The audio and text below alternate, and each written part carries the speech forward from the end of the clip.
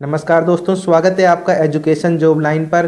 दोस्तों, आज हम एक बहुत ही बड़े टॉपिक को लेकर बात करने वाले हैं कि हरियाणा ग्रुप डी की आंसर की आने के बाद अब इसकी फाइनल कट ऑफ़ क्या रहने वाली है। साथ ही दोस्तों, हम आपको यह बता दें कि आंसर की आने की सूचना हमारे चैनल द्वारा कल सुबह सबसे पहले आपको बताई गई थी।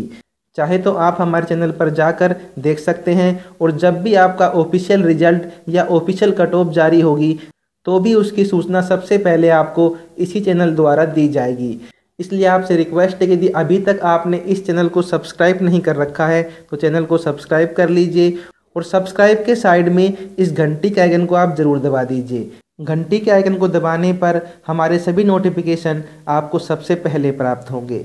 वैसे दोस्तों, सभी को आंसर की मिल गई हैं। लेकिन यदि किसी को आंसर की की पीडीएफ नहीं मिली हो तो वो हमारे वीडियो के डिस्क्रिप्शन में जाकर दिए गए लिंक से आंसर की डाउनलोड कर सकता है।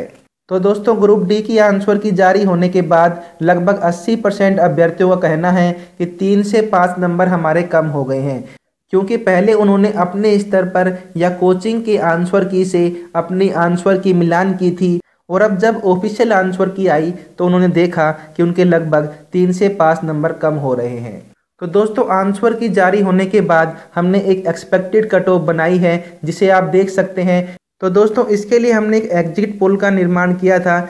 इसमें हमने विभिन्न अभ्यर्थियों से उनके नंबर पूछे थे कि आंसर की आने के बाद उनके नंबर कितने आ रहे हैं। तो आप देख सकते हैं कि लगभग पैंसठ परसेंट से ज़्यादा बारह परसेंट अभ्यर्थी इकसठ से पैंसठ नंबर के बीच 12 परसेंट अभ्यर्थी और छप्पन से 60 के बीच 18 परसेंट अभ्यर्थी और 50 से 55 के बीच 30 परसेंट अभ्यर्थी और 50 से कम 28 परसेंट अभ्यर्थियों ने अपने नंबर बताए हैं।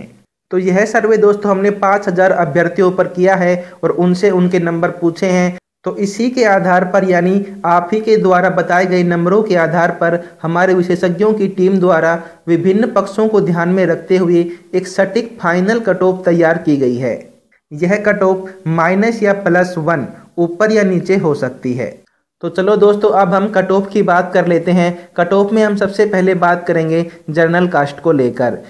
इसमें यहाँ पे फ़र्स्ट में हम बताएँगे कि नब्बे में से आपके कितने नंबर आने चाहिए, साथ में दस नंबर जुड़ने के बाद फिर आपके सौ में से कितने नंबर आने चाहिए और सौ में से ही आपकी फाइनल कट ऑफ़ जाने वाली है।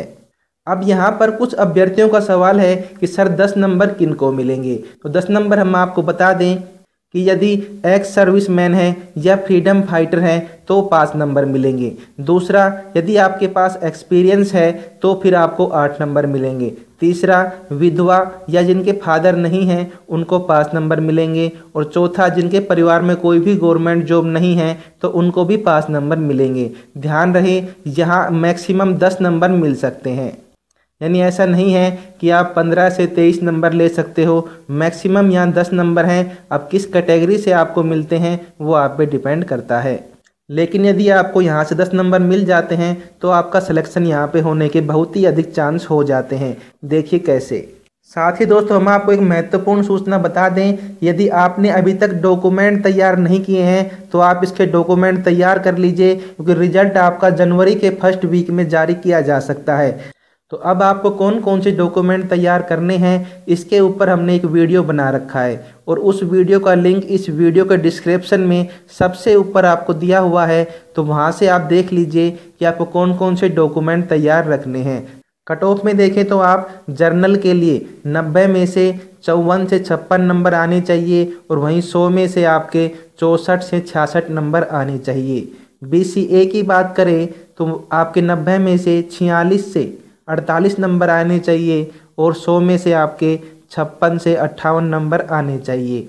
वहीं बी की बात करें तो आपके अड़तालीस से पचास नंबर नब्बे में से आने चाहिए और सौ में से आपके अट्ठावन से साठ नंबर आने चाहिए।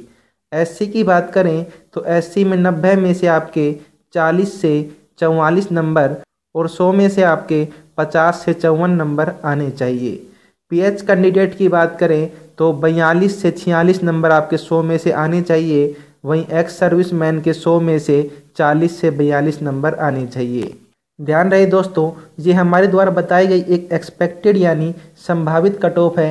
ऑफिशियल कट ऑफ़ आपके जनवरी माह में घोषित की जाएगी इसकी ऑफिशियल वेबसाइट पर। साथ ही दोस्तों, आपके इस एग्ज़ाम में कितने नंबर बैठ रहे हैं, हमें कमेंट बॉक्स में लिख के ज़रूर बताएँ। ताकि हम एग्जैक्ट कट ऑफ़ के और अधिक नज़दीक पहुँच सकें। धन्यवाद दोस्तों।